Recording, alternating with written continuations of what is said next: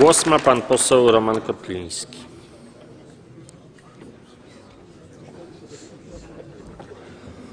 Panie Marszałku, Wysoka Izbo, cieszymy się bardzo, że Pan e, Premier aspiruje do bycia w nowoczesnej Europie, do zasiadania przy europejskim stole.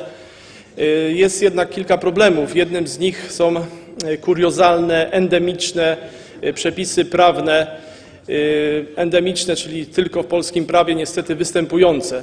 Mam pytanie, czy Pan Premier, czy koalicja rządząca poprze wykreślenie z polskiego e, kodeksu karnego artykułu 196 o obrazie uczuć religijnych, e, a także artykułu 212 dotyczącego zniesławienia.